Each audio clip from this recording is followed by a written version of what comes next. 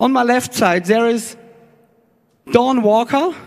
She is member of Environmental Data and Governance Initiative. It's called EDGI and PhD student at the Faculty of Information of Toronto. Their talk is ensuring climate data remains public. And it's something like the Data Liberation Front helping us in these times to get all the information for all people on the long distance achieved. A warm applause.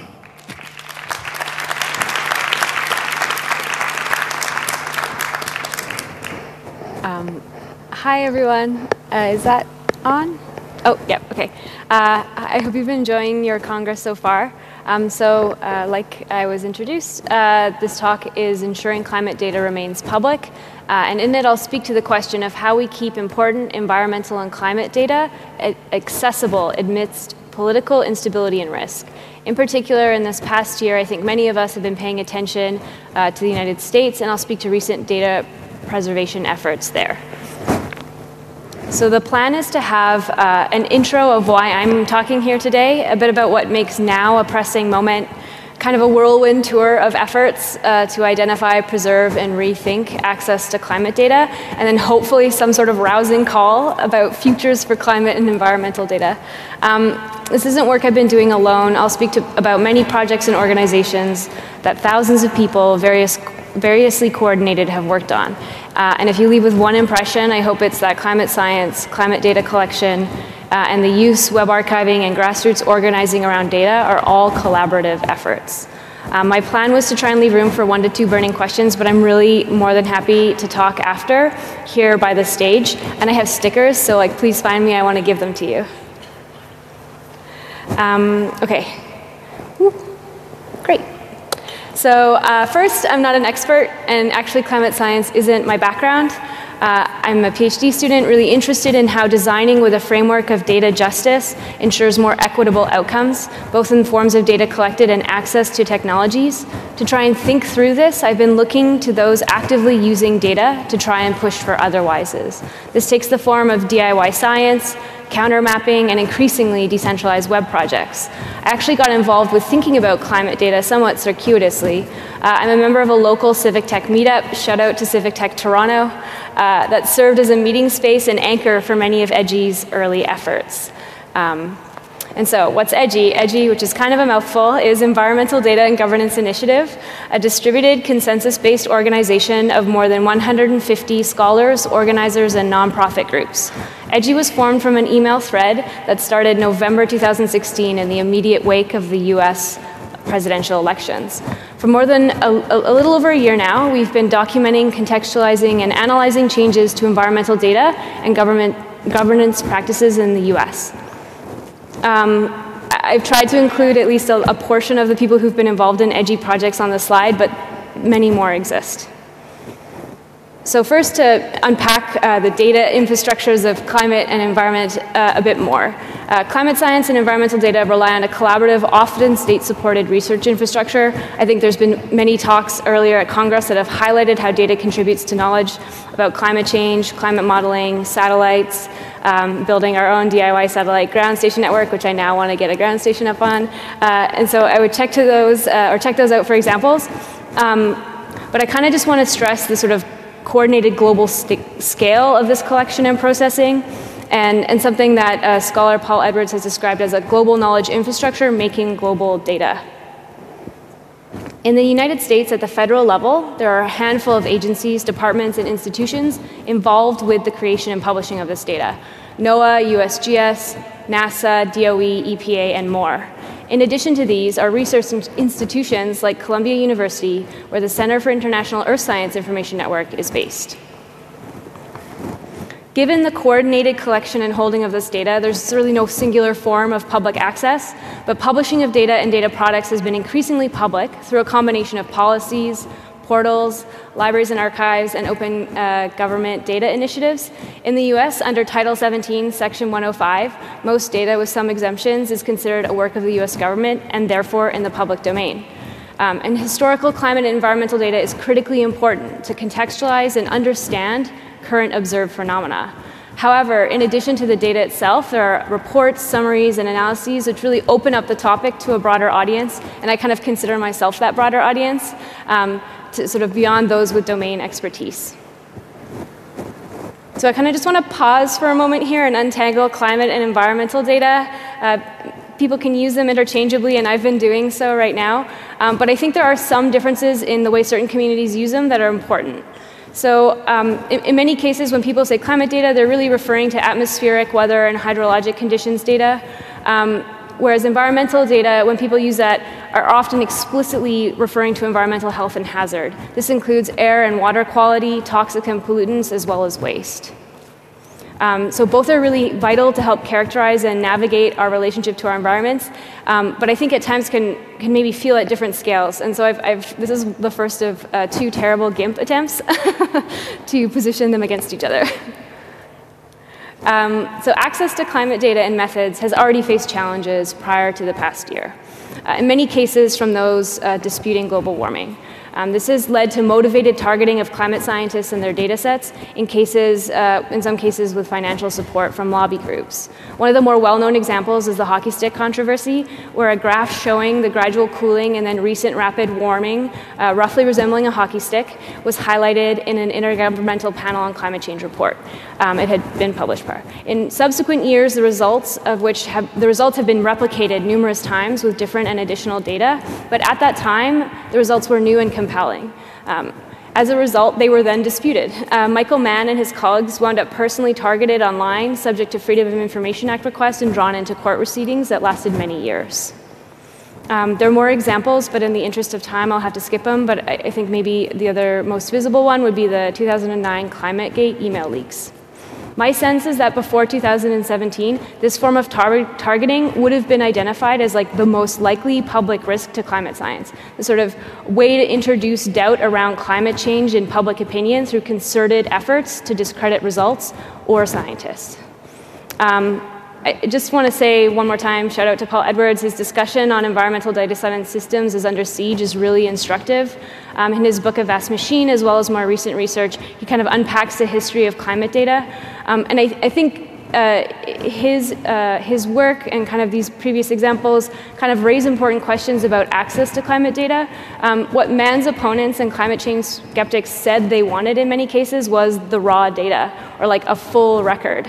Um, and so, and, and, in one case in particular, a project sought to actually audit the siting of surface temperature instruments. Um, however, I think it's important to, to note, and, and, something that scientists flagged at the time, was how necessary context is to interpreting data. And I think we need to better understand that with working with complex data, including climate and environmental data. So, this moment in particular. On November 8th, 2016, Donald Trump was elected uh, for many people, there was an immediate sense of we have to be ready, we have to do something. Scientists, environmentalists, and environmental justice organizers saw statements made during the campaign as indicating that climate and environmental data infrastructures could be at risk and actively targeted. But this isn't the same as the risk above. Instead, this is um, the risk is how do you ensure continued access to data about climate and, and the environment when the supporting institutions may no longer be able or desire to? Um, however, many from an environmental justice background have long recognized existing uh, environmental data structures as imperfect. For example, in cases where it's relying upon industry reported data or, non or is non representative of communities' embodied uh, experience of pollution and toxics. This pe put people into a position of concern for the preservation of imperfect data to avoid an alternative of no data. Um, but wait, you may have been thinking this whole time, aren't you from Toronto and isn't Toronto in Canada? It is, I am. Uh, however, Canadians experienced uh, kind of our own uh, uh mobilizing moment under our previous Prime Minister, uh, Stephen Harper. Um, and, and, and I think this highlighted uh, the new form of a threat to climate environmental data infrastructure uh, Stephen Harper was able to really quickly and successfully implement an agenda of systematically undercutting environmental and climate research budgets, closing labs, including an, at an Arctic research station, weakening government uh, environmental regulations and then shutting down libraries and reducing historical, periodical, and record collections. The speed and immediate impact, I think, served as a rallying moment and highlighted facets of vulnerability that many had not been considering. So, do something.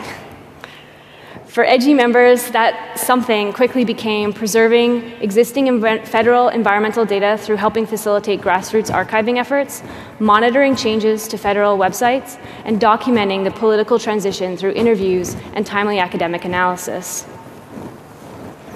Um, between December 2016 and June 2017, local organizers hosted 49 data rescue events in cities across the US and Canada uh, with support from EDGI and the Data Refuge Project at the University of Pennsylvania. At events ranging in size from a couple dozen to over 200, people gathered to nominate key federal environmental data sets for archiving as part of the Internet Archive's uh, pre existing end of term crawl. In addition, attendees strategically organized how to deal with links and data sets that could not be preserved through automated methods. Um, at these events, attendees nominated over 63,000 web pages as seeds for subsequent crawling. Um, however, and it's, it's hard not to go into like a really extended conversation about crawler software here, which I'm probably not the best person to do. Uh, crawler software is not actually easily able to fully archive and discover links to data sets and web pages on all sites, partially because of underlying um, web development practices and internet infrastructure, and partially because of resource and storage constraints. So in addition, more than 22,000 datasets were, identify, were identified as candidates for non-automated preservation, deemed that, uh, we deemed them as not uh, able to be successfully crawled. Several hundred of which went through a workflow of developing custom solutions to scrape links and data sets and upload them to a, a data refuge repository using an open source toolkit. Uh, I'm going to use the benefit of hindsight now to sort of avoid falling into a narrative that portrays us as underdogs that kind of went alone, accomplished this project of a massive scale. Uh, you know, as people in many cases without the expertise of uh, digital preservation and archiving or a long track record in it. We didn't uh, fully appreciate the scale, and along the way, rediscovered rediscovered, I want to stress that, long-standing issues with archiving and digital preservation uh, that many groups were already navigating. So rather than forging ahead alone, we quickly found affinities with existing advocates, projects, and institutions, many of which who had been operating in this space for a long time. So in addition to us and Data Refuge, Climate Mirror, Project Azimuth, and the archive team, who had existed for years prior, also became rallying projects for people who wanted to quickly organize around preserving data. Um, I'm just going to mention three projects. There's way too many, um, but want to untangle just some things that I think are interesting around access, coverage, and risk. So first, Internet Archive. Um, Internet Archive is an unparalleled resource for web archiving. Uh, in this particular case, with just end of term crawl, um, they managed to get over 200 terabytes of the government web. Um, and, and, because of the additional focus, they have got sections of websites that might have been missed um, based on the way they configure that crawl. Um, and so while it may not include an archive copy of all the data sets for the reasons mentioned earlier, it provides an important snapshot of how that data was presented on websites at the end of the previous administration. And further provides the ability to browse previous versions of those sites in a way that extends how the content was initially presented. So I think that kind of uh, opens a question about you know, what, we, what we think about when we think about access. Um, the next one is uh, Code for Science spearheaded Project Svalbard uh, named after the seed vault, uh, a collection of over 38 gigabytes of metadata to try and create a single catalog of research data files. Uh, and while data.gov has a, a, catalog, not all data that could be there is there.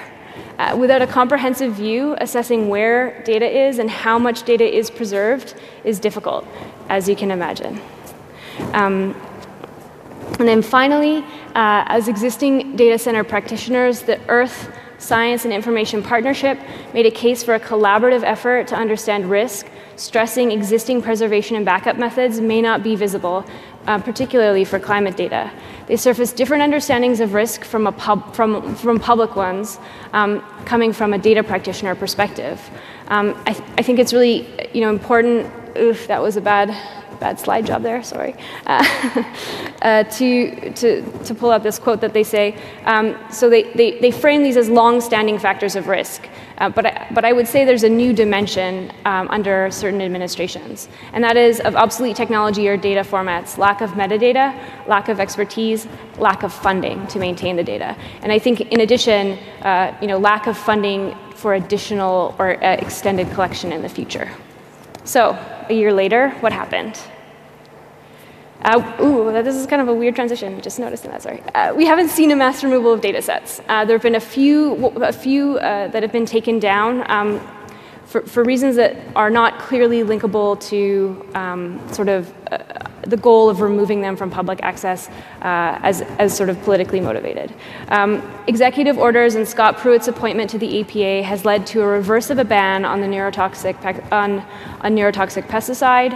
A proposal to rescind Obama's Clean Power Plan is in the works, and cuts to important environmental programs, notably those that protect marginalized and vulnerable populations, are underway. Further, budget proposals uh, aimed at severely cutting funding to key federal agencies um, in, that involved with environmental data collection. In terms of data, we've actually seen uh, a shift in how it's presented on federal websites. The screenshot on the slide is actually from a recent EDGI website monitoring report documenting the removals and changes in access to resources on the EPA's climate and energy resources for state, local, and tribal government. Um, so since January, EDGI's website monitoring team has released over 25 reports like this, documenting changes to how uh, environmental and climate data is presented. So, what next? I think the biggest opportunity I see is in the public conversation and attention toward the continued access to this data. The fact that people who weren't librarians, web archivists, or research scientists showed up and stayed involved attests to this. I see EDGI's website monitoring work as a way to attempt to mobilize that, that continued public conversation, but there could be more. Um, in the wake of recent FCC decision on net neutrality, I think we're seeing another wave of public conversation around infrastructure, but kind of operating at a lower level. Since the summer, EDGI has been working with Protocol Labs, the creator of IPFS, or Interplanetary File System, and Qri, uh, a data science company developing dataset research tools on the distributed web, on a project called Data Together, which aims to convene a conversation around building our own and better data infrastructures. We want to explore how decentralized web patterns can support community data stewardship, in part um, through content addressed web archiving, and are having those conversations out in the open where people can join in. Um, that could be a whole talk in itself, uh, and I would prefer Matt Zumwalt to give it. and I have more questions and answers, so I think it's probably something that works better as a conversation, and one I'm hoping at least some of you will want to participate in. Um, and I, maybe just to kind of suggest as well, I think many in hacker, free software, open hardware, open science communities have, have recognized the ways that technology is not neutral, that it can come with embedded bias and predispositions to be used in certain ways. And I think if that recognition can be coupled with the recognition from environmental justice advocates and academics into the ways that data is not neutral, and then also um, you know, with an attention to the vital data about climate and environment that is critical to navigating our changing relationship to the environment, I really think we have a chance to build better data together. Um, so maybe just in conclusion, I want to say, you know, EDGI is always looking for people interested in volunteering. Our projects range uh, for people from a variety of backgrounds in particular, if you are like a DevOps witch, come find me. We need like serious DevOps help. Uh, and please check out our website, GitHub. You can sign up to our mailing list. Um, you can help us create Data Together's mailing list, or maybe just have some conversations about this somewhere online. Uh, thanks. Yeah. A big, big thanks because this is an important work uh, we, as we like fact-based information, we have to achieve this. So let's now come to the Q&A. Please go to the microphones, and uh, if there's a question from the internet, I get informed from the video angels. Is there any question? Ah, there is somebody coming. Microphone one, it's for you. Uh, yes. Hi. Um, you often hear that scientific data sets are very fragmented or uh, not very easily accessible. I can imagine that's certainly something you run into while trying to rescue it and crawl it. What has your experience been there, and did you see any opportunity to, for example, improve that in your whole efforts? Um, yeah. Uh, so, so absolutely, I think we did run aground uh, of, of that fragmentation. Um, and I think maybe uh, if we could offer one thing to other people was the experience of like this not being uh, something we were familiar with and kind of stumbling through it and making like all the mistakes possible and being like, where is this? How can we find it? Um, uh, so in terms of kind of what we found or sort of like a way forward. I actually want to flag that I think there are already processes to try and like address fragmentation. Um, and I think data.gov is becoming this open data portal. I think the way that certain countries have um, kind of like a, a one-stop portal to try and find data sets, as well as uh, you know coordination between um, like the IP. I had the screenshot of the IPCC data distribution center. Like I think those projects are a good, are one attempt at that.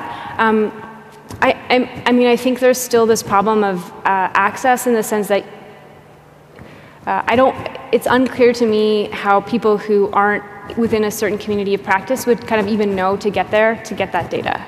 Um, and, and you know, one, one thing we've heard in conversation uh, with others, including the, the US Climate Alliance, um, I had their um, logo up, you know, is that I, I, think there's a certain set of people who care a lot and, and you know, their decisions and how they work is going to be really heavily impacted by climate data, but they're not going to look at the data, they're going to look at those reports, and like getting access to those is extremely important.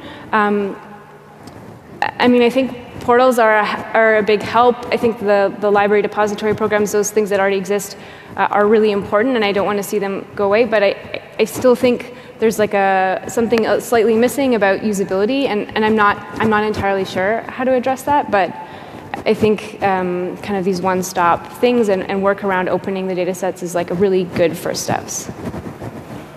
Thanks. And thanks for your effort on this. Okay, we have 10 minutes and uh, three questions from, from the internet, two in the room. So internet, start first, please. Okay, so one person from IRC asks, is the bar for putting data into the World Data Center for Climate too high in terms of providing a number of metadata, uh, which is a lot of work? Um, so uh, my understanding is that operates a bit similar to data.gov in the sense that it's like opt-in.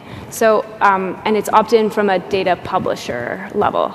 Um, and, and, if I'm incorrect there, I'm, I'm, sorry. But working with that assumption, um, I think the barrier we found is that not everyone has opted in. So if, if you're a person who cares about the data, but you're not the person who made the data, um, you're kind of stuck if, if that, the publisher has not included it in, in these uh, repositories.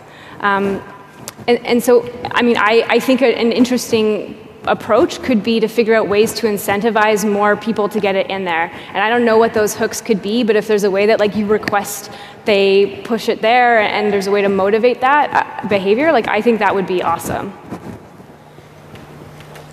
Microphone five, please. I have, uh, hi, I have a question regarding uh, creation of new data. It means that one of the concerns is to protect data and preserve data from the old uh, scientific research. But uh, what will happen if, for example, there will be lack of funding for the next research, and for example, our long-time series for climate research uh, will be lost for that? Are there, or for example, in this community, are there people who try to reach broader audience and tell them that we need to find funding for preserving data and for creating the new data and for measuring still all of these uh, climate things. I mean, I, I, agree. I think that's uh, really critical. Um, and, and that's something where I think there are, in the United States and, and in Canada, a lot of people mobilized around this issue of, you know, thinking about how um, the, the, sort of the knock-on effects of limiting budgets now and then sort of a continued constraining of budgets and a lack of funding and a lack of, you know, and cutting jobs instead of growing jobs. Um, the, the group that I'm most familiar with, who I think is doing really strong advocacy around that in the States, is the Union for Concerned Scientists. Um, so I, I, think there are definitely groups who are, are flagging uh, what those, uh, like what the outcomes of the budget proposals would work uh, or the impact of those. And so um, there are groups who are advocating for it. Um, I think me not also being an expert in like uh, government uh, policy or, or, how budgets are implemented, I think there are constraints in um, how advocacy is a tool to affect change in what a budget is that gets adopted. Um, means that maybe that, that alone is, is a strategy is not going to prevent it from happening. Okay, microphone one, please.